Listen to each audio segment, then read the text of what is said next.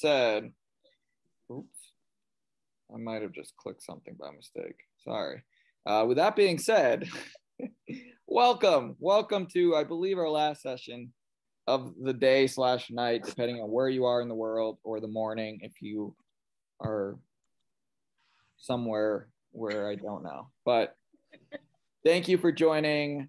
This is sharing your story on social media panel. We have three awesome ladies who are going to talk, I believe, for about 15 minutes each uh, to kind of share a little bit about their story, social media. Probably do 25 and we'll probably do 5 a.m. Yeah, perfect. yeah. And then we're going to get into some Q&A. I already have some questions in my mind, um, you know, about all the social media platforms. I want to know the ins and outs of TikTok. and so I'm expecting some great. Ashley. I, I was going to Ashley's your girl for that. I don't even have TikTok. Yeah, I'm kind of like the geriatric of social media. Like, Um, well, with that being said, who would like to kick us off? I don't mind going, so I don't. I, I knew the girls were gonna be like Ashley, so you know I'll put myself out there.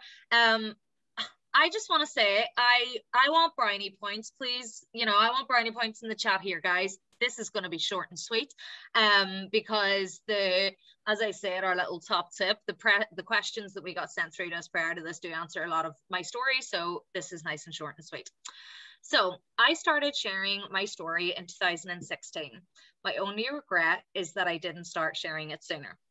I can remember finding out my dad had HD and turning to Google for information. From 2007 until 2022, the online support has changed dramatically. In 2007, I felt so alone. Now, in 2022, I have friends around the world I interact with daily. This might be people sharing their story publicly or reaching out to me via private messages. My name is Ashley. I am 28 years old and I live at risk of Huntington's disease. I created the hashtag I'm Not Drunk lifestyle blog in 2016 to help others in the community make friends, raise awareness, learn more about HD, and share my story. I want people to see that even though my dad has Huntington's disease, I cared for him through my teenage years and adult years, and I live at risk of the same disease. There is still hope. I can still live a happy, positive life, one that I am proud of, and become a person I know my dad would be proud of. It isn't always easy. There are days my eyes are filled with tears, but I share that too. 15 years of Huntington's disease has taught me a lot. I have grown to be strong, independent, resilient, and hopeful for the future. And through the hashtag I'm Not Drunk blog, I hope to inspire others to do the same. Dad is safe, happy, and well cared for in a nursing home close to me. Although the pandemic has been difficult, I cherish the memories we continue to make and the ones we have made. I have spoken on podcasts, the BBC News, local newspapers, magazines, been invited to speak to pharma companies, and uh, featured on other bloggers' sites about mental health, my personal challenges with it, going through the testing process and deciding not to test, relationships, day to day caring, and living at risk, and the importance of awareness. That is record timekeeping for an intro from me. I welcome all the questions, so I do, and yeah, I'll let one of the Emmas take it over. that was a lot shorter than I was anticipating. Thank you. I'm so question, honored. Jan. Stunning, steady. Do you want to go next or do you want me to go next? You can crack on. I feel like I'm probably the least interesting, so Well, I don't think I'm. Well, we'll have a competition. well, we'll decide who's Emma one and Emma two after. Go. All right, okay. um, so my intro is more of a background story, I guess, because I've only been sharing. Um, well, so my Instagram handle is my pops un no, my pops underscore and underscore HD. I think. Correct me if I'm wrong, guys. Um, and I set it up in well, almost a year ago. Um, and literally, the only reason why I set it up is I'm just such a bad talker um, in terms of if I'm feeling upset or emotional, or I just like bottle it up. And then every now and then I just get so overwhelmed um, and it all comes out. Um, so I thought it was just a good way of being able to let it out basically um, and if it can help anyone else then that's a bonus. Um, but a little bit of a background about me and my family. Um, so growing up we didn't know anything about hd um, never heard of it before. Um, but we always remember my granddad um, we used to call him the dancing man because he just never stayed still but he wasn't diagnosed with HD until he was in his late 60s. Um, the doctors thought he had late onset Parkinson's, so none of us were any the wiser. Um, he passed away in 2012, and I think at that point, I well, I was only sort of 18, 19. Um, and it, it, just i hadn't really i hadn't dissolved in my mind like i just didn't really know the seriousness of it or the fact that then that meant my dad was at risk which then meant i could be at risk. Um, but my almost my granddad passing away then triggered symptoms in my dad. Um, and then he was actually diagnosed then gene positive in 2014 um, i think then once i'd started doing some research on it if you looked back, you could see that his he was already symptomatic.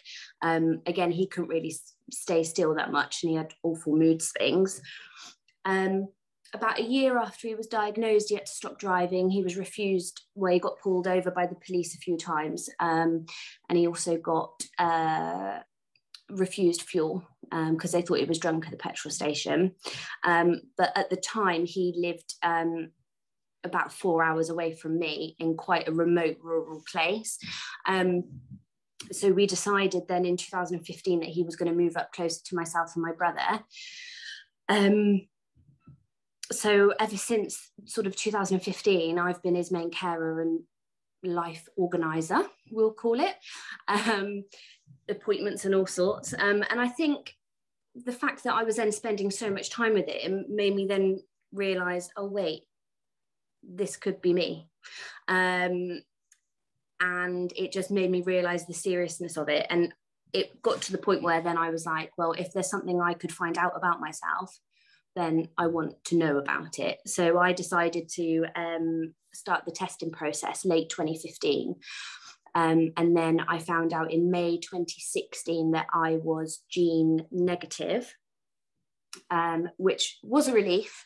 Um, but I think there's like a huge thing where in you know people who don't really know about hd that oh well she's tested negative so it's that's great like she doesn't have to deal with it but you you deal with it all the time on a daily basis um unfortunately then my brother was diagnosed um he tested gene positive in the september 16 and he had has had two children um, prior to being tested, so they are also at risk. Um, for a few years, probably up until about 2018, me and my brother shared the responsibilities. But then I think it was taking a huge toll on my brother's mental health. Um, and he no longer really sees my dad or has anything to do with him because I think he got to a point where he felt like he was looking in a mirror and sort of seeing himself in 20, 20 years' time. Um, so, sort of since then, it's been me really. Um, lost friendships along the way. Um, it's really hard when you've got you've got all this responsibility um, of I don't know, looking after someone and then also trying to look after yourself and trying to live your own life um, and having people around you that don't understand if you can't or don't want to do something.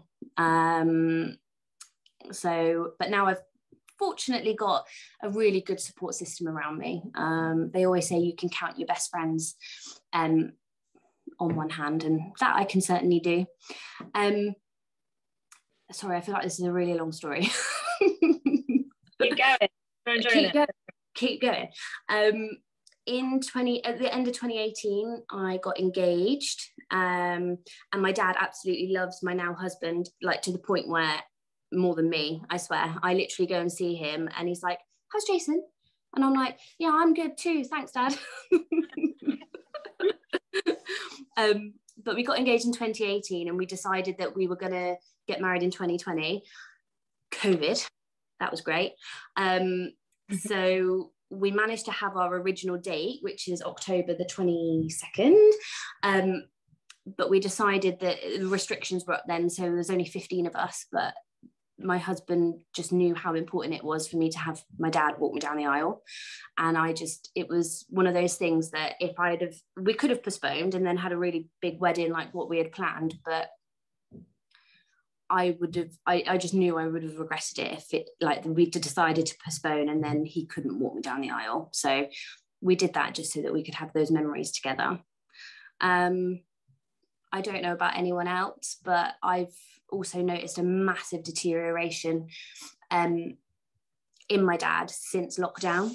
And I don't know whether that's because he is not got any sort of social interaction other than me, um, which I think I'm great, so that's all right.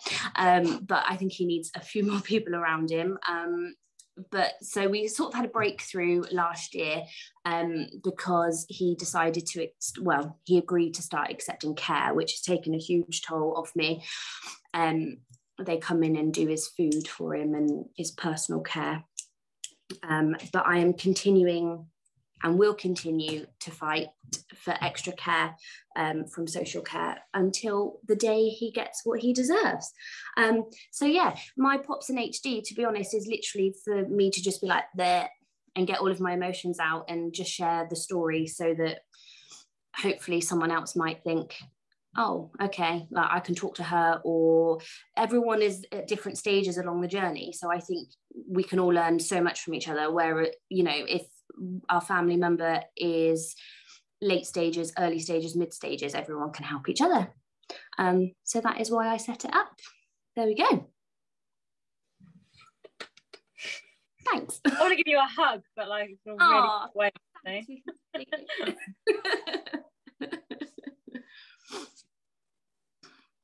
That's on to, on to me now, is it? You have to tell me when yeah. to shut. Wow. Um, so I I very much, we very much lived as a family with HD as a secret. Um, we weren't told until I was 14 and my sister was 18. Um, my mum found out when I was about five that she had the gene, but she was very much ashamed of it. Um, her mum had quite a difficult time when she was unwell because when when she was unwell, it wasn't really known about. Um, and my mum was just so upset about it. She kind of hid it, didn't want to be treated differently. Very proud woman. So it was very much a secret. And even when she became quite obviously disabled, it was still something that wasn't really talked about openly, even when people knew she was unwell. So we were kind of hidden away all the time. Um, I qualified as a paramedic in 2011. Um, I, I'd looked after after her mum from like a young age, um, from sort of 14, 15 with her sort of psychiatric issues uh, whilst my sister was at uni. And then as she got more sort of physically disabled, I would chip in with that as well. But after university, um, when I moved back from Bristol, um, we kind of just muddled through until things got really bad after I had my daughter. Um, I had my daughter in 2015 and she took a huge plummet just as I gave birth, you know, a huge change in kind of how she looked after herself. And we fought for about for about 10 months, I think, to get any sort of form of recognition or help from social services. And it was awful, really awful, and resulted in my dad suffering sort of massive burnout and, and being in bed for three to four weeks, which just isn't my dad at all. Um, and then and then mum started to accept carers and life got a bit easier. Um, and as she started to accept carers uh, and weirdly became slightly more disabled, um, she started to enjoy life again. She'd find, find sort of companionship in the carers and she was happy to go out and do things. Um, so we were a bit more public about it, but we still hadn't set up online. Um, and then in 2018, we tried to get continuing healthcare, which was a huge battle. And after a year of fighting, we managed to get it. And I remember sitting with my sister in a cafe, and I was just like, I've been a paramedic for, for, I think I was a paramedic for eight years at that point, whatever it was. And I was thinking and that was really hard. How do people who don't have that knowledge and skills do it? Um, so I said to her, I think we need to stop living in secret about this now. Like I think we need to go go public and help people. So I set up um campaign for my brain just on Instagram and Facebook. Didn't really know what I was doing, just big idea. and thought, yeah, I can do this. I can help people. And then met uh, my business partner Catherine through Instagram. We went for a coffee, and you just I think with HD, you think you're alone and you think it's a really horrific thing that no one understands. But as soon as you speak to somebody else who's had it in their family, my jaw just hit the floor. She was talking about her dad sort of six years before um, and what she'd been through before he died.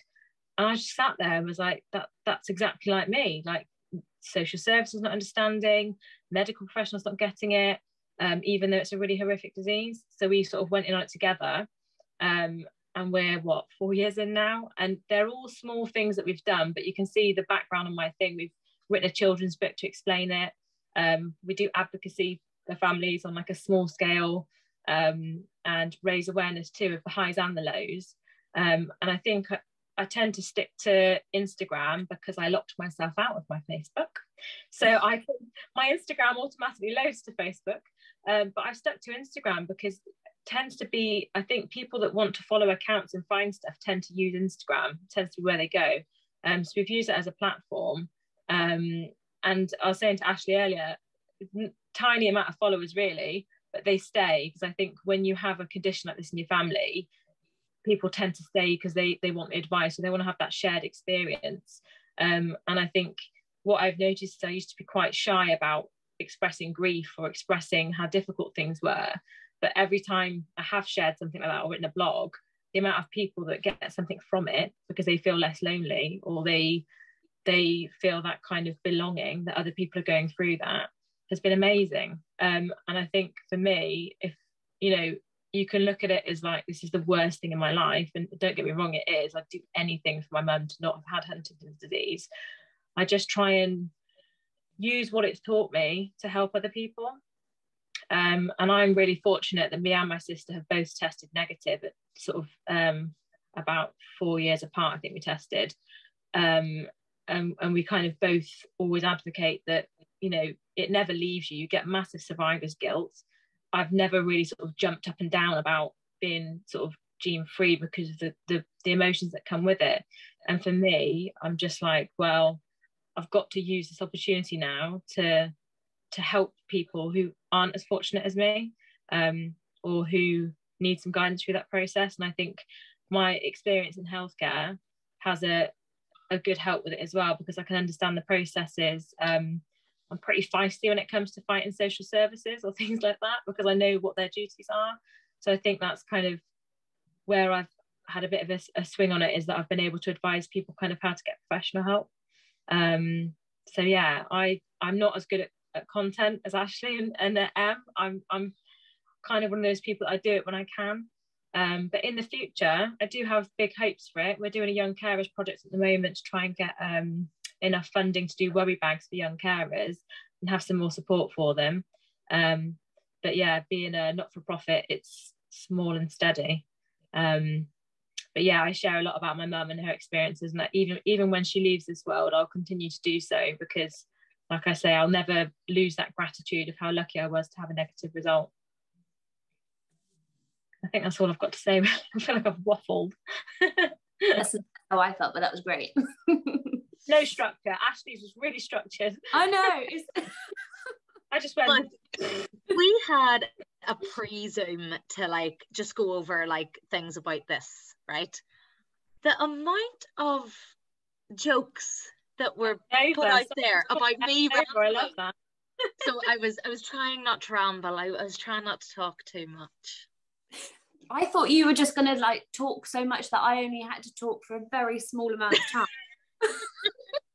It's been called M and Over. I'm pretty happy about that. M and Over. Oh, I like it. Like that. Yeah. I always say actually, I would um I would love to know. I always ask this, and because I think people follow at different times or look on social media at different times i always would love to know like what people would like to see or know like i always think oh should i do this or should i do a post about how to get help or should i do a post about the medical side or should i do a post about this like i'd love to know what people feel is missing from what's online um because i know there's so much there's so much around now. And like Ashley mm-hmm. was saying, when I was 14, I think maybe I had MySpace or something like social media was bit, so, I was just about to say, can you remember yeah, Like, I'd love to MySpace, know AIM. Yeah, I'd love to know what people think is missing. Yeah. Um, well, that's definitely um, for me right now. I personally love using Instagram because um, I find it a very positive space. I can follow the people that I choose, and that then fills my feed with um, the kind of content that I want in my life and I want to see. So I'll follow all my HD wonderful community friends, family, loved ones, all the different accounts that I'm connected with. I'll follow all of those. And then I'll follow some, you know, amazing influencers from around the world that just inspire me daily. Um, so I find Instagram like a really positive place for that. Um, I'm a bit like yourself, Emma. I have steered away from Facebook a little. Um, it was at quite a few years ago. My Instagram automatically posts to my Facebook, which is super handy.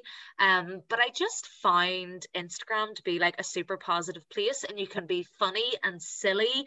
And if it anybody watches on Facebook as well, I never ever really have much engagement on Facebook. It yeah. Was, I know. definitely feel like I definitely feel like I reach more people on Instagram and I get more like I get a lot of private messages of people sharing their stories and that's you know I feel like I get that more on Instagram and like anybody who has been on my page there's the most silliest reels and videos and it's just it's like a really fun space and that's what i want to do with my blog. I want to make it you know one of the worst things in my life. I wish my daddy wasn't sick, and I wish all these other people around the world weren't sick, weren't sick with Huntington's, and I could make it all go away. Um, but I can't. I'm not a doctor. But what I can do is I can share with the rest of the world how I have turned one of the most negative things in my life into one of the most positive because I have got some of the most amazing friends, and two of them are on this panel with me here today. Seth, I'm undecided about you if I'm honest. No, I'm joking. I'm joking. I promise. Damn, have you seen the questions there on the thing yet? Oh, what's have we got questions? Yeah. So one of them is um, how do you guys manage posting content when things are really hard with your mum and dad's care? Ashley can answer that one because I don't. I'm quite lazy. I generally just post when I'm like, I'm going to post today. Um, I don't plan it in advance. I just do it when I have time, which is probably why mine page is quite static. Whereas Ashley's very good at planning every week. We talked about this earlier. I'm a yeah. bit of a late So, um, for me personally, time management is a big thing. Um, right now, at this point in my life, my dad is in a nursing home, so I do obviously have that wee bit more of a free time, and you know, I don't have any dependence on me right now. In other words, I don't have any children or anything. Um, so I personally spend some time on a Sunday. Um, it could be anything up to three hours, and I pre-plan my content for the week ahead. Um, this was really helpful when I was looking after dad. I just was really conscious about my time management. And I wanted to make sure that my education, dad's care, my social life, and then obviously the blog was all getting like a nice little snippet of time. And I didn't feel like I was you know, oh, a little bit of this and a little bit of that, but I haven't looked at, you know, haven't talked to my friends in real life and how long. That's um, what you were saying but, earlier about balance on in, like social media. Yeah. I think it, it's um having an awareness that you can get sucked into it, can't you?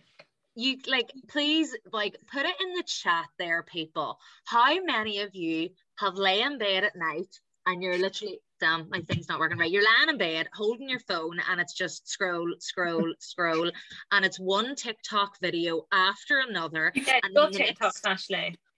No i well okay instagram reels is more my thing. It's an easier app to use i find. But come on we've all got into bed at like 10 o'clock at night and the next thing you look at your phone and you're going it's half one in the morning and I've been scrolling Instagram reels this entire time.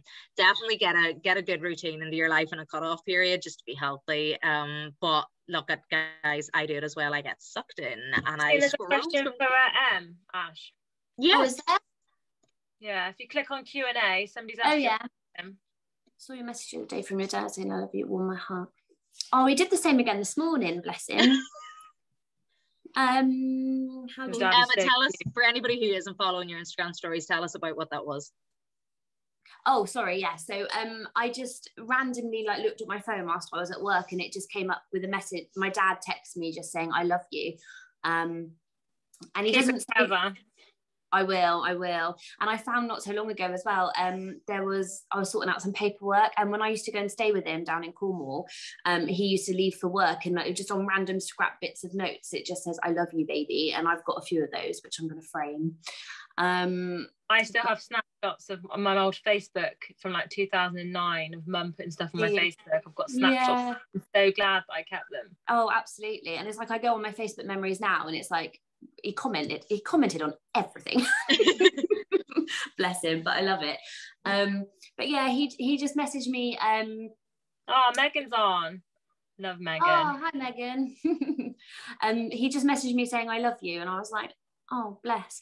Um and he, yeah he just doesn't say things like that anymore. So um it was it was nice. But in terms of the question what was it about balance how do you keep living? Balancing the good and the bad. And you're really good at that actually. Some of your stuff is raw, but it's like yeah i just you've got a family hd you've been through it then it's it's nice to know that people are open about that because sometimes yeah. stuff do you it was like I shared um, last year. We took dad, me and my husband took um, my dad away for the weekend, and I genuinely wasn't expecting it to be as hard as what it was. And I just thought, how are people ever going to know what this disease is like if you try and polish, you know, if you're yeah. trying to make look shiny um, when it's really not. So I, when I started sharing stuff, I was very much like, well, I'm going to keep it as real as possible. Um, also protecting dad's privacy, obviously, but like I'm, you're not going to share awareness by yeah. not sharing everything that's real.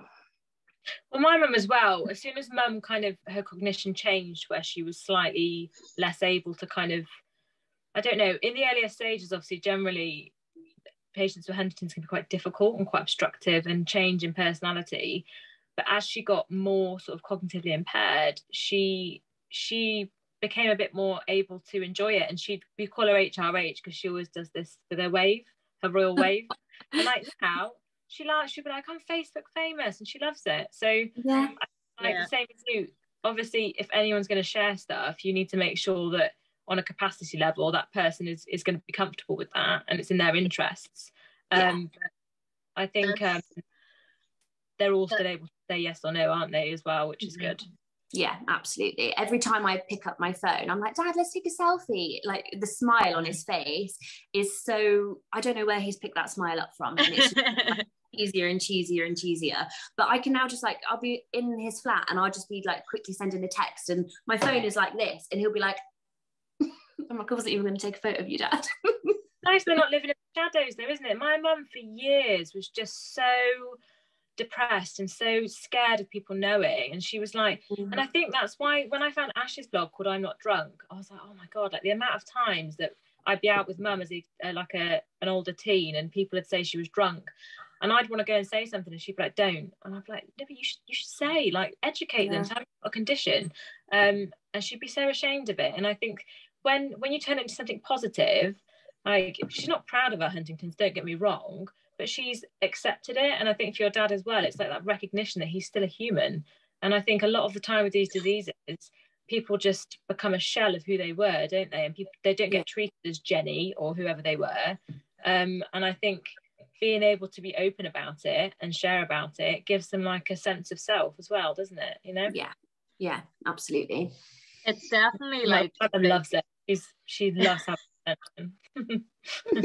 I I love like, your mom. Here for you, not me. What's that about?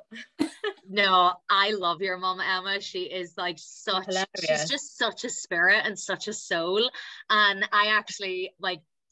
I so I guess offered... you couldn't meet her when you came down. We were all meant to go and meet Aww. her I was offered the opportunity to go and meet HRH before Christmas. I was going to get red snow, The snow took this away from me, and I am not happy. But I do Make like. yes. Um. Well, I do have to admit. So, spoiler alert: Charlie and I were talking today, and I think I'm coming back to Cardiff in the summer. So, yeah, no.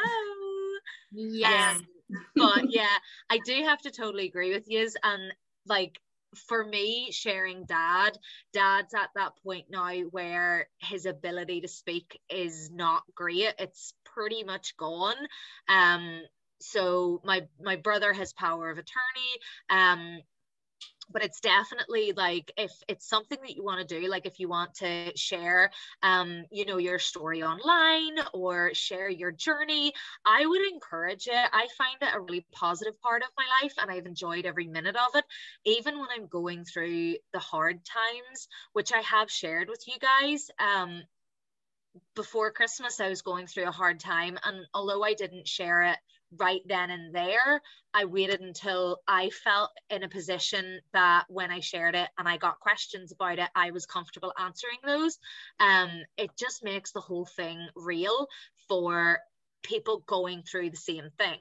Whenever I started the blog, my goal was the people coming behind me or in the same journey as me or similar journey I didn't want them going on to Google and finding horror stories and scary, you know, videos and stories about mental asylums and whatever else was on there. I was 14 years old when I was reading all that, but I would say just be mindful.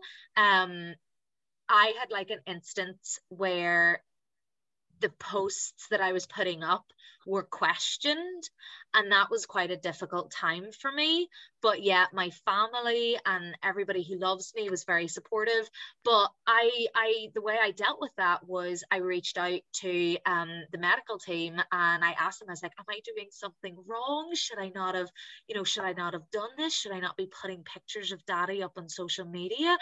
And they were their response was just so heartwarming. Um Daddy was always very clean, very well maintained. He was always fully clothed. He was sitting with a big smile on his face. There was no issues around that there. Um, so there was never an issue. Um, but it's, it's always just... important to put a disclaimer up sometimes though. Like I was just thinking yeah. this, like um I've shared one video once that was for impact and it was videos of mum's more distressing times and but I made sure that the start of the video was black with writing with a disclaimer. Mm. And I think sometimes on Instagram, people are a bit, a bit not naughty. I don't know that word, but I think sometimes people need to have a bit of a warning about what's about to come up. You know, like a horrific picture or something quite raw. I would just say if anyone's going to share stuff of the the more darker times, perhaps put a bit of a disclaimer in another photo first, because there are people that are perhaps like Emma's brother early stages or or just testing or finding out and it can be quite triggering if you yeah. see something you're not in the right headspace for it it can be quite alarming and i think mm-hmm. it's important to all understand like that i always feel quite responsible that what i post i make sure i've read it 3000 times and i've yeah, put same. in there or i've put anything in there that might upset someone like just so you know mum was happy with this or you know, um, this photo was taken before we had to wear masks, or we've made the mask thing was huge. You know, my sister was really nervous about posting pictures sometimes that I'd put up. And I sort of I had to say, look, we've made a decision as a family that we are going to see mum because she's got a limited time left. And I think, I think as long as you're open and you don't lie, I think people, most people are okay. You're always going to get one or two that are just looking for an argument, but generally I've been fairly well supported as long as you're honest. Um, you're always yeah, I think you're always gonna get like you're gonna get those negative Nellies, you know, and just remember you know i could i could pull up i never do because private messages they were sent privately for a reason if they wanted to share it with the world they would have commented on a post but i could for every negative comment that i've ever gotten i could pull up probably 20 positive yeah. messages and comments and yeah. beautiful like i absolutely adore when people reach out to me and share their story and introduce themselves and tell me about their loved ones. And nine times out, out of ten it always starts with hi i hope you don't mind me reaching out. And i'm like no reach out. Let's have a chat. Let's i think know, that's probably the message i sent to you. Yeah it's i get it so many times. And I welcome like all of these messages because it just warms my heart on a daily basis when I get them. Um, but it's definitely, you know, like I had somebody come at me one time because I wasn't being uh, considerate to the um the to people with disabilities and to people with vision impairments or people who I it literally was whenever captions become like a thing and they were like auto auto captions. I don't know how to do that. I feel really bad about it. Yeah, I I genuinely didn't know it was a thing all of a sudden and I that was something I got attacked on and I got some negative mm-hmm. feedback that I wasn't using captions and it's so funny because I literally sent a message into um like Haley was joking in the chat. She's like, Ashley, you're Northern Irish, slow it down. And I was joking with her, texting her there, and I was like, can we get you know a translator? Can we get somebody to help everybody else out to understand me? Another question um, by the um, way. I've just saw. Yeah we do we do. well, hey, one of them before, emma before you hop on and answer those questions what I would love is for each of you, how can people follow you, right? Like, where do I follow you? Marketing, aren't we? where do I follow you all? Can you can you drop the social handles in in the chat maybe? Yeah, I didn't even I didn't even know my handle. yeah, if you follow me, Emma's on there. Thank you. um. So it's um absolutely okay. amazing like um to be like involved with this so it is um but it's we really appreciate everybody's love and support and we all talk like in the background of our social medias and we're all super good friends so we are and it, it's just it's heartwarming to get like the love and the feedback so it is um but I see somebody, um, while the girls are putting their handles in, I see somebody um, asked, Do you have any TikTok tips? Um, and thanks for the love, whoever sent this in. Um, I typically I don't use like the TikTok app just as much um, for the simple reason that when Instagram introduced their reels, I find the Instagram app a lot easier to use. Um, and I was that person that was sitting on TikTok, like losing a full night of sleep because I was like binge watching TikToks. Um, but yeah, I absolutely love making reels on Instagram. TikTok is very, very similar. Um, they both pretty much run the same thing, but it's I will sit and scroll whenever I was saying that I take about three hours up to up to three hours on a Sunday. I'll go through Instagram and I'll scroll through reels and see like what's a funny song, what's a funny dance, what is some stuff that people are posting. And whenever you're scrolling reels, I wonder will my phone show up? When you're scrolling reels, down in the corner where the music runs along, you'll notice there's like a little arrow pointing up the way.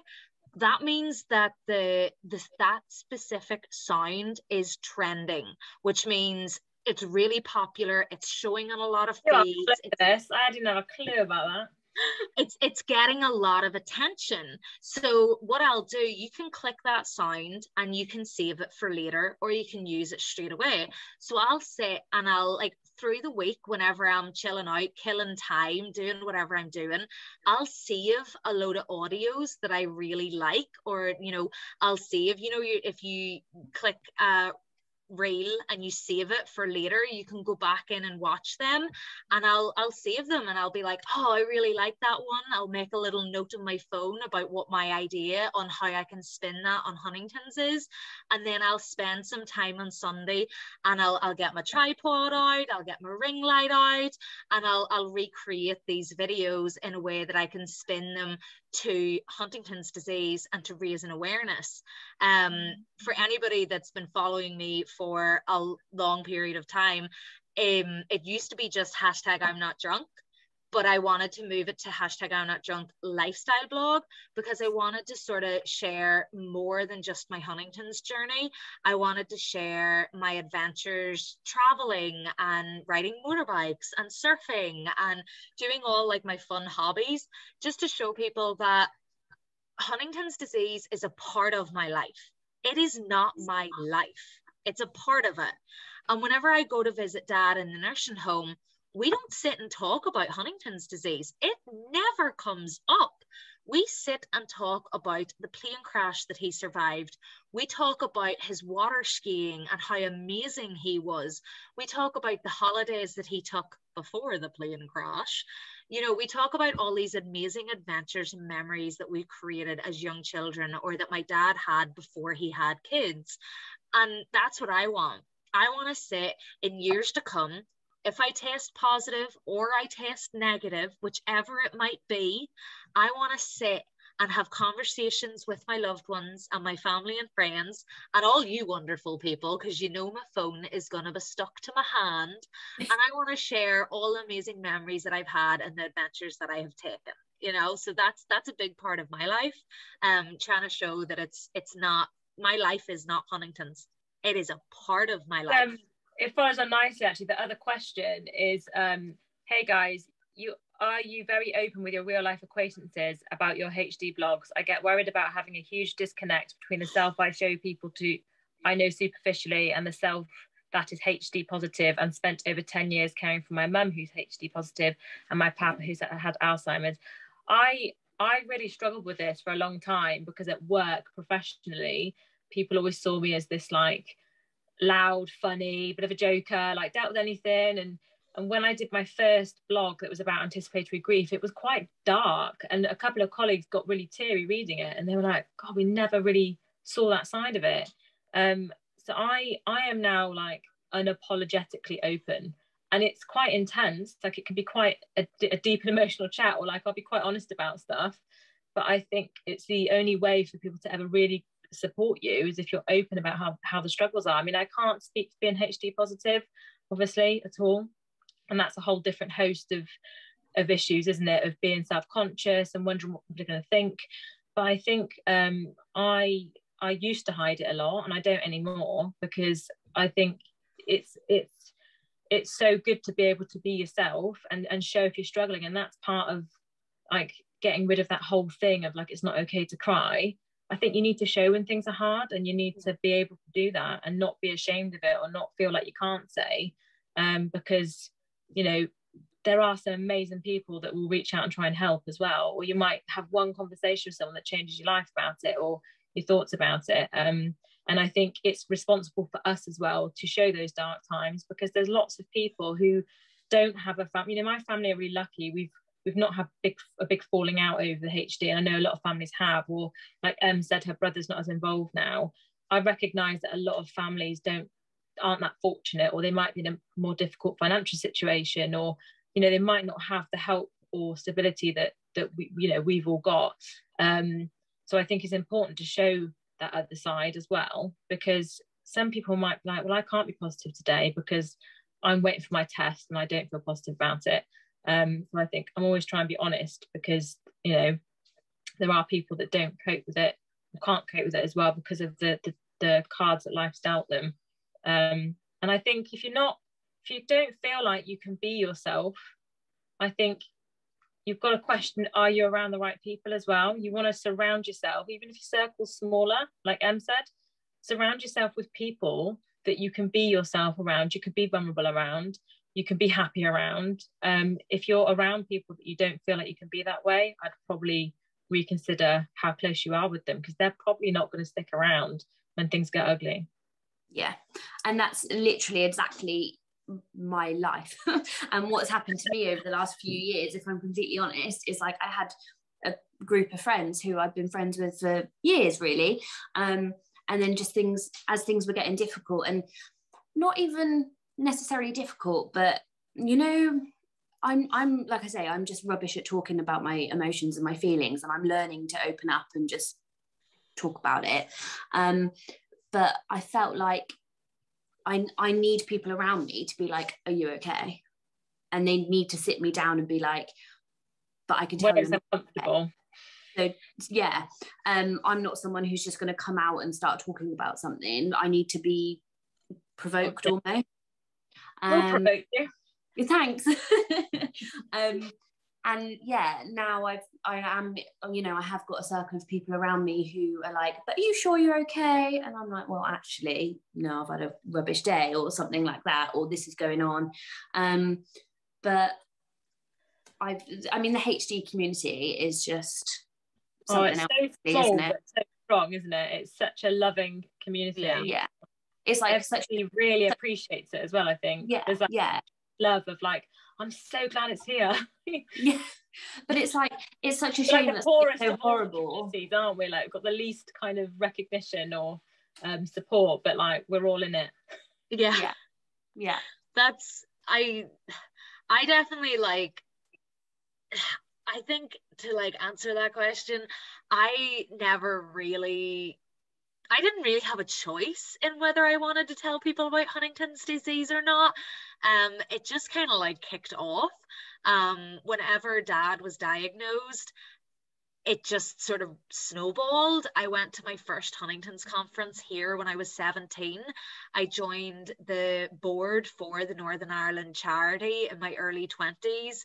And then I started getting involved, involved with HDYO. And then in 2016 I started blogging about it and it was actually when I was at the HDYO camp that year, it was held in Kent.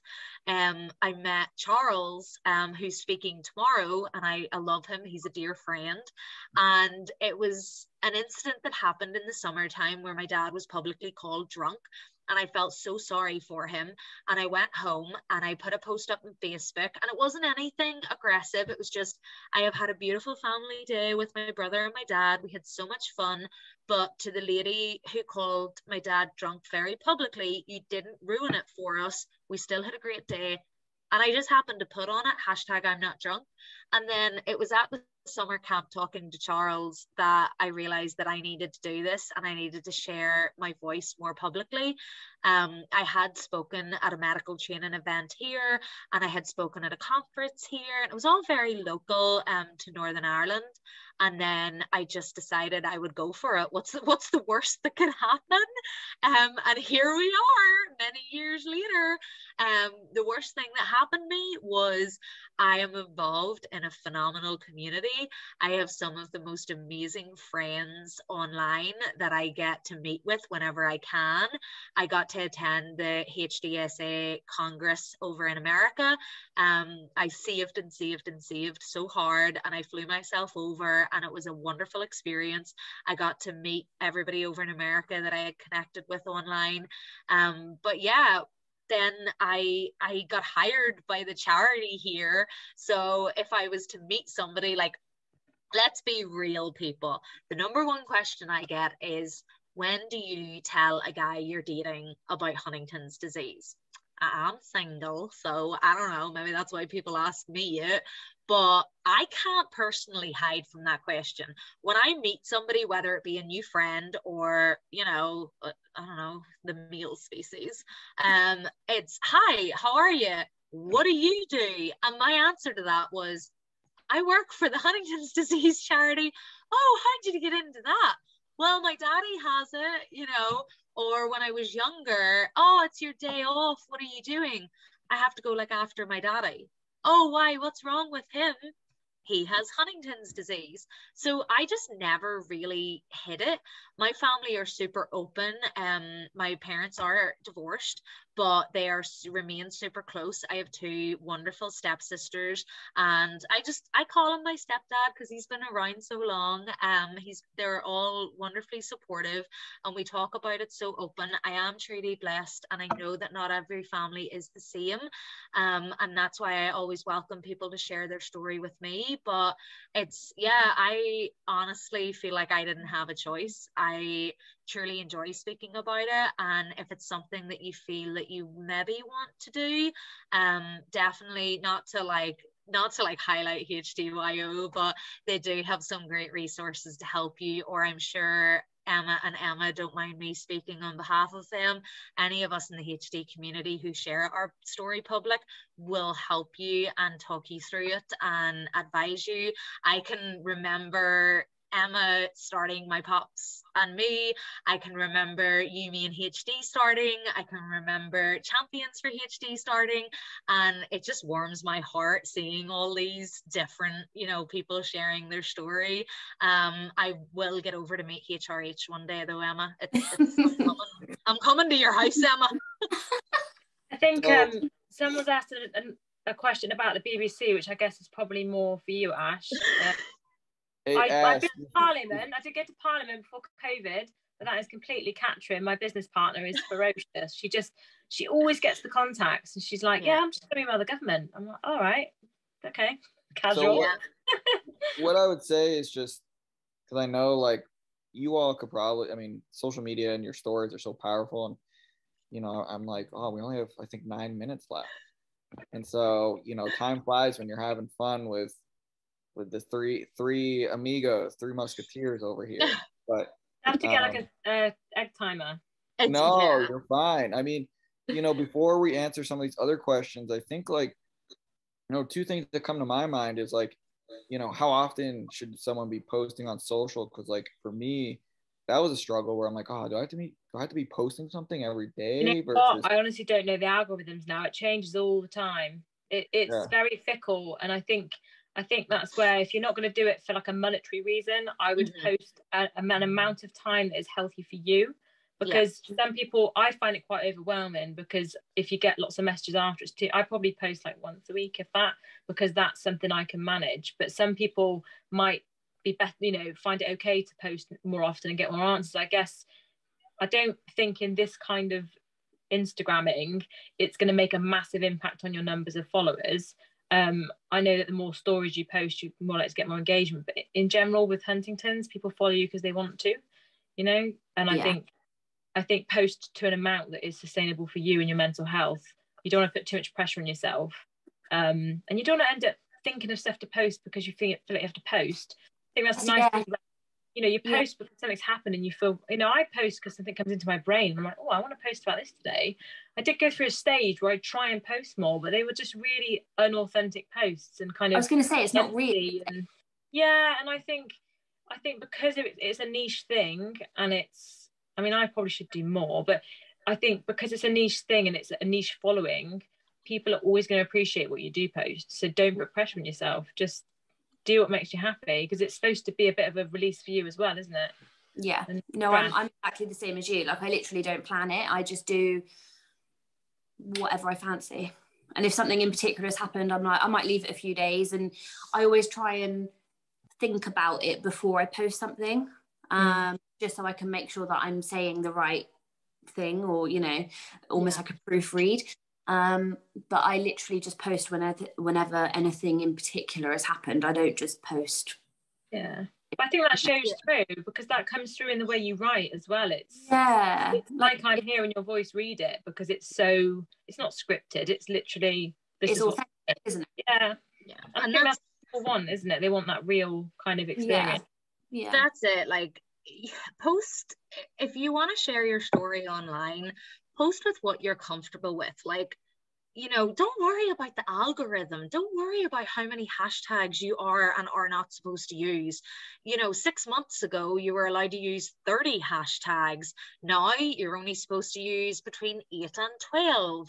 And another thing, like, please don't like the only reason why I know so much about social media is because it was a part of my previous job. I had to know about it. So that's secret that's the only reason why and i have been doing this like somebody who is good at mathematics please 2016 to 2022 how many years is that? Um but yeah i like y'all will know if you have followed me from the beginning i go dead quiet for months or weeks go onto my website right now. When was the last time I posted a blog post? Although I do have to give a shout out to Charlie because she is redesigning my entire website and I am so She's excited amazing. to see it. She is so creative and I love her deeply and she is my wife and I she's redesigning it at the minute and I'm so excited to see it. Um we're hoping it'll be finished yeah, shortly but no no pressure no pressure on her but um yeah don't worry about the algorithm and what you're supposed to be doing. None of us do this for money. None of us. Mm-hmm. Um you know it's different whenever you're like making a career out of it or you're like an influencer that you see you will see in somebody's story where it says like ad or gifted or you know and you're doing it for fun That's what you need to think about this. I want to post this. isn't it? Doing it for that release. It is like if anybody goes onto my Instagram page, the first post you will see on my grid is me doing the absolute most stupidest dance in my garden, which seriously needs the grass cut, in a pair of purple Crocs and socks. Like I don't care. I have no makeup on. I look like I've just woke up, but I was so excited about Congress today. I just really wanted to put a video up, and this is one that I've wanted to do for quite a while. So I just went and done it, and it made me giggle so much. And the HDYO team, I sent it to them, and they were all giggling, and they were telling, you know, like Ashley, settle down. You're gonna need like three coffees this evening to get through your talk. You know, like I was just so excited, and it made me happy, and that's what's important in all this. Mm-hmm. You know, it's do what is happy for you and post however much or however little you want because I can promise you right now I follow a lot of different accounts and it is their job to know the Instagram algorithms and it is so up the left at the minute there's no understanding it so there's not you know it's it's it's mental. Also not healthy for you because like No. these these channels were designed to addict you. I was talking earlier when I talk about the social dilemma. It's a program on Netflix about the apps, and and Mm. you have to be really careful that it can make you quite unwell, and it can be, become quite unhealthy to then rely on it constantly or rely on posting because you're doing it for validation. Do it because it's a release and because it it makes you feel connected, but don't don't kind of do it because you feel like you need to do it a certain amount of times a day. Yeah, the, the goal, you're right, is I mean, to go down the rabbit hole and like Ashley was saying, is scrolling on TikTok or Instagram Reels until you're like, wow, what was I doing the last two not hours? serving you at all. And if anything, it's just overstimulation. And I Mhm. do think it contributes to things like anxiety and phone addiction. I think having a really healthy relationship with it is a much better thing. Um, yeah, and, and that's and I, I was just gonna say it's like, you know, just to sum sum all this up is like, when it comes to social media, it's it's setting boundaries, right? And I used to be like, I mean, I'm still like, we'll go on social a lot, but I've learned to try to realize when's like a trigger. So I'm like, okay, I gotta stop social, like I gotta be off of it, right? Because it's just so challenging. But um, two minutes left, so I'm gonna say this is final kind of thoughts, and and this is, you know, this will go into I think a question we had about like the BBC News. I know you kind of answered the, the news piece of it, but like, all right, someone's new to the HD space or wants to get more involved. What tips do you have for them for someone just starting out on social media? contact Ashley. Yeah, follow, follow Ashley. Oh, Ashley. All right. Well, that was an easy question. No, the girls need to give themselves credit where credit is due. Both Emmas are absolutely phenomenal. Um, but honestly, a piece of advice if you want to start sharing your story on social media, just go for it and reach out to like literally go on Instagram and search, you know, like Huntington's disease, hashtag Huntington's disease, whatever it is, you will find a wealth of knowledge and accounts and just message them. Hi, my name's Ashley. My dad has Huntington's disease. I love your account. I'd love to start sharing my journey. Have you got any advice? And I promise you, you will get a very warm welcome and you will get a very kind message back. If you don't, you know, You'll find your way. direction, Like mine, when I first who you are. started, it's so different to now. Like when I first started, I tried to do like business type stuff or what I thought Yeah. people would want to hear and structured. And now I'm just like, here's a picture of mum. She had a great day today. Like, Yeah. Yeah, it needs it needs to be find- raw, doesn't it? Yeah. And you that's find yourself as well, and you find a way to be comfortable with kind of your style. And I think yeah. You know people then grow to know you as well. I'm I'm gonna speak for myself here because I don't want to make it sound like I'm pre, you know, like being stereotypical or anything. Um, so I'm gonna speak for myself. I am super nosy, okay? I love watching. Instagram stories because I want to know what you're doing, where you're going, where did you buy that piece of clothing, what where did you get your robot hoover, what restaurant are you at? Can I go to it? Like I am so nosy. I want to know what you're doing, when you're doing it, and why you're doing it. So I just treat my Instagram like that. I'm like, people want to know what's happening with dad. At the minute, I can't currently see him. I haven't seen him since Christmas Eve. It's very upsetting. So I share that. And the amount of people, when I share the raw, honest, open, you know, my mental health, things about daddy, changing my job, that's when I get the most engagement. So it just goes to show people want to see the open and the honest, but at the same time, do what is comfortable for you. Do not feel because my life is an open book that yours needs to be the same. That is not the case. Share as much as what makes you happy. Social media is supposed to be fun, light-hearted, and a place where you can go to switch off and enjoy yourself. So make it that way and have it a space, a safe zone for yourself that you can just enjoy it mic drop. That's a great way to. Uh, Thank you very great, much. Great way to end day one, day one of Congress. And so I just wanted to thank each each of you for just hopping on here and just really sharing from the heart and sharing your personal stories. I think it's, as I saw in the chat and even chiming in a bit myself, it's very relatable. And it's just good to kind of hear your experiences and how we're able to continue to, um, you know, talk about social media, but also figuring out boundaries and what works for one person may be different from someone else. So thank you. And so with that being said, I will say we are done with day one of the HDYO Congress. Day two is tomorrow. But in the meantime, we do have sessions going on in between day one and day two, uh, especially for those in, in Asia, Australia, uh, New Zealand region. So definitely take a look at the event site for all those details. Um, and with that being said, I don't know. I saw Matt hop on, but I think he might be frozen now. So with that being said, thank you all. And I hope everyone has a great rest of your day slash night. And we will see you tomorrow. Check out the boots for more information. Get out and also the photo booth. Get your selfie in. Get your thing going. And uh, yeah, we'll we'll talk soon. Bye everyone. Bye. Thank you. Bye. Thank you.